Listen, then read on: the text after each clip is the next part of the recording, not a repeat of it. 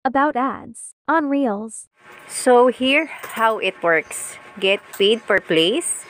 Get paid per play on your public reels. Only original eligible reels will earn money. So ang sabi dyan, kada play ng mga public reels nyo na original na eligible para mag-earn, doon po kayo babayaran.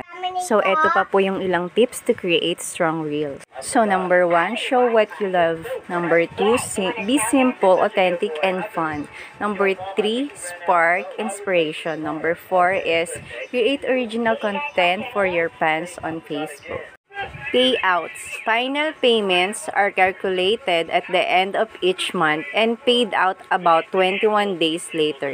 You must earn at least $100 to get paid. So, need nyo din maka $100 within the 21 days to get paid. Parang sa stars lang din siya. So, kailangan maka $100 kayo to get paid. So, sa next video ko na po ipopost yung iba about ads on Reels. Thanks for watching. Follow and share.